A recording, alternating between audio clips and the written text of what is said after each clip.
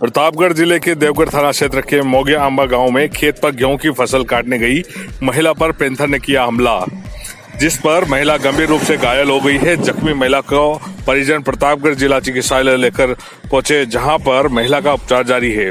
फ़िलहाल महिला की हालत गंभीर बनी हुई है। देवगढ़ थाना अधिकारी हेमंत आहेरी ने बताया कि पा, पाल पंचायत में मोंगियामा गाँव की रहने वाली शंभू लाल मीणा की पत्नी लक्ष्मी दोपहर में अपने खेत पर गेहूँ की फ़सल काटने गई थी। तभी अचानक से पेंथर ने उसके ऊपर हमला कर दिया। पेंथर ने उसकी गर्दन, नाक और मुँह पर पंजों पर से हमला किया गया। पेंथर के एकाएक हमले से महिला घबरा गई। उसने अपने बचाव का प्रयास किया और ज़ोर ज़ोर से चिल्लाने लगी। शोर सुनकर आसपास के लोग जब तक आते तब तक पेंथर वहाँ से भाग चुका था। बाद में परिजन और ग्रामीणों ने महिला को जिला चिकित्सालय लाकर भर्ती करवाया, जहाँ पर उसका उपचार जारी है। फ़िलहाल मोगिया की स्थिति गंभीर बनी हुई है और ग्रामीणों ने में दहशत का माहौल है।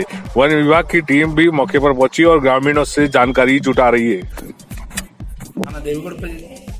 सूचना मिली थी पाल जंगल में किसी औरत पे पेंथर ने हमला कर दिया।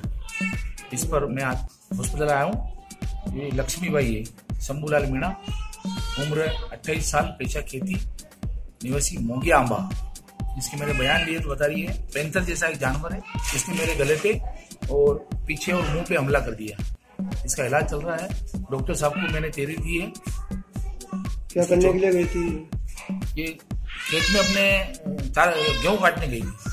जा रही थी रास्ते में। ठीक है। जा रही थी और कहीं वहाँ पास में बाग में आकर हमला कर फिर कैसे लाए? कैसे वैन गाड़ी से लाए प्राइवेट वैन गाड़ी थाना देवगढ़ पर जरी